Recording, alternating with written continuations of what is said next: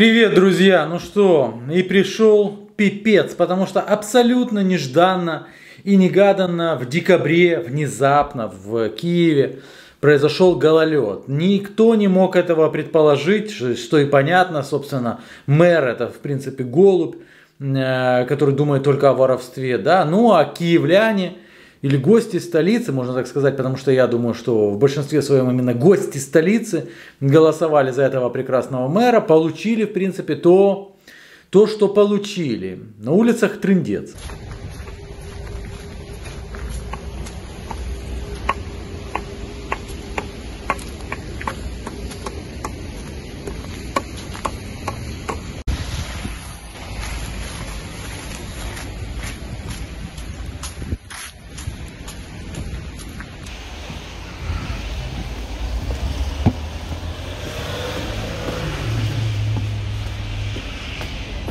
Мы заходим в травмпункт, как вы понимаете, это травмпункт. И мне уже с лестницы он уже нравится. Все пахнет таким, знаете, чем-то таким, ну, гидным, можно сказать. Гидным. Но вас видите, что делает. Как, как работает сегодня? Оперативно? Вы, Нет, С 8 часов здесь находится. с 8 часов. вы своими часов стоите? Да. А что у вас Да. случилось? Упали, вышли из дома, прошли 100 метров, упали и вот и всё. То есть они стоят 4 часа в очереди, ввиду того, что видео снято в полдень, 4 часа в очереди. Почему? Потому что травмпункт один. Один на Киев. А потом начали искать трампункты. Они все позакрывали эти трампункты, только один трампункт вот на э, Новостицкой 9 и добирались, э, как пришли сюда, здесь один доктор. Все травмпункты закрыты, и на то есть свои основания. Потому что ни один идиот не может предположить, что в декабре кто-то сможет подскользнуться и упасть. Ж кем надо быть, чтобы в декабре подскальзываться-то, а? А? Общая очередь. Вот видите, приезжает скорая, по скорой пропускает, а общ- общая очередь стоит, которая своим ходом пришла. И вот мы здесь ничего еще до конца не сделали. А вы откуда сюда добирались? Оболонь. Из Сабалони сюда? Да, с Оболони, потому что нигде нету больше травмпунктов. Все закрыто, вот, На что закрыто? на ковид.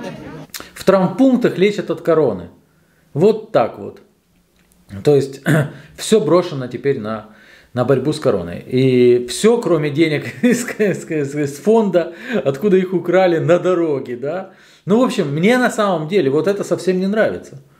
Потому что я могу себе представить ужас людей, которые в 70 с плюсом ломают руку, а потом 4 часа в очереди ждут, когда их просто осмотрят.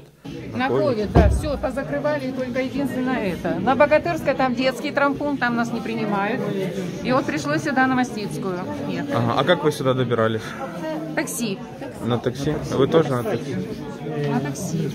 Потому что идти невозможно, понимаете? Дороги-то скользкие, они не посыпаны. А, так это богатые пенсионерки на такси. Понятно. А теперь представьте, как себя чувствуют бедные пенсионерки. Я утрирую, конечно, это сарказм, но на самом деле. А те, которые не смогут доехать, они же и дойти не смогут. Что с ними будет? Они будут умирать в своих квартирках? А сегодня один всего лишь э, врач, говорите, да? Один врач, да, Я не знаю, как один. У меня э, с Оболони э, сюда 105 гривен было. Не знаю, как обратно, наверное, обратно уже дороже будет. Таксисты молодцы, молодцы, поддерживаю. Знаете, как когда 11 сентября рухнули башни-близнецы, так рассказывают, таксисты возили бесплатно, да? Ну, еще там в других местах.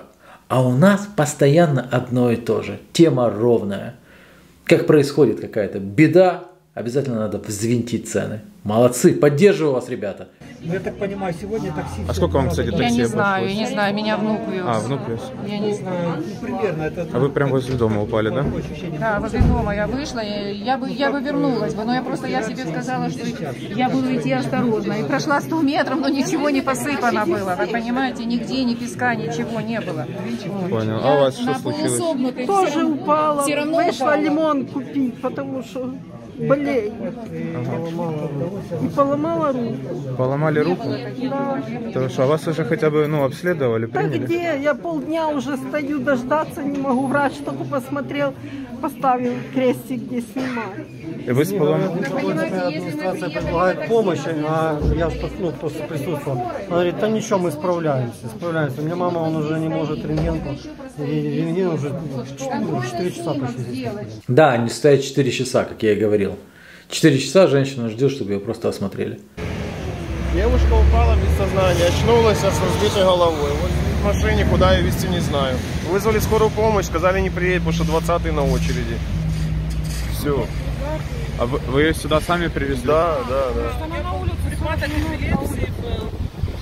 Потеря сознания, не могла сказать, как ее зовут. Ну, Можно сейчас провести в машине. Ну, кровь остановили и все. А принимают сюда? Нет. Ну, принимают, но вызывать скорую, они по скорой принимают. А мы ее так привезли. Ого. Везти в БСП ее, в больницу скорой помощи на левый берег. А якщо там також скажуть, що черга? Не знаю. Ее вообще нам сказала сотрудница лаборатории, оказывала помощь, то есть сказала нельзя транспортировать человека, но оставлять ее на морозе мокрую тоже как-то вариант. Ее не принимают, потому что принимают только по скорой.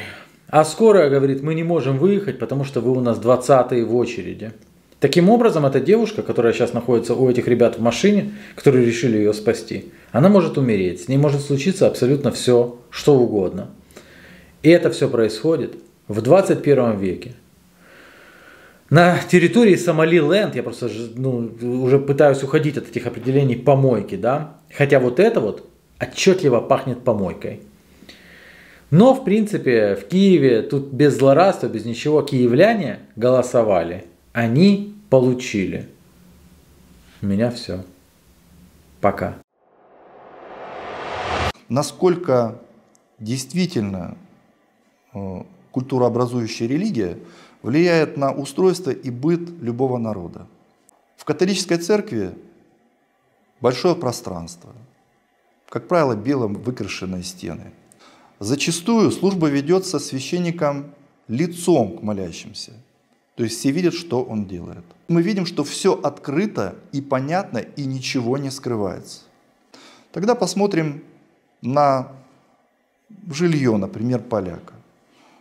Как правило, если это квартира, это студия. Мы посмотрим на заборы в польских поселках. Это сеточка. Всем все видно, соседям видно, что делается у соседей. Хорошо, в экономике э, именно из, скажем так, римского мира к нам пришли открытые декларации налоговые. Все видно, все прозрачно, все должно быть очевидно.